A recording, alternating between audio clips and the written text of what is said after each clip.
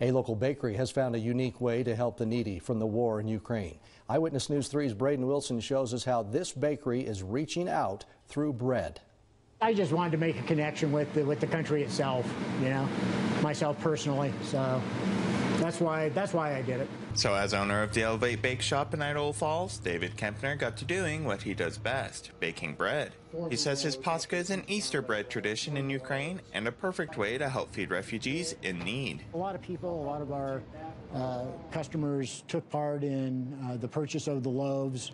Uh, where they're purchasing them for $35, and 25 of that was going to uh, the World Central Kitchen uh, as a donation to help feed uh, people affected in and around Ukraine. Currently, David says he has been able to raise nearly $1,000 so far. The bread does, is not uh, is not an easy bread to make necessarily.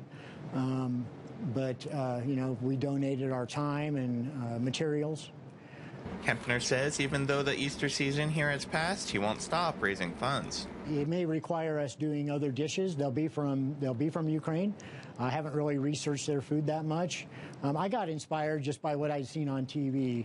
He says for him, this is about doing what is right. I don't know anything about the region really, but what I do know is that um, people are being displaced um, from their homes at the same time while their cities are being destroyed, and at the same time while their uh, brothers, sons, fathers um, are being killed in war. So um, it really is more about just uh, my need to feel like I need to do something and try to help some other people do the same thing and try to make it a, a cause that's worthy.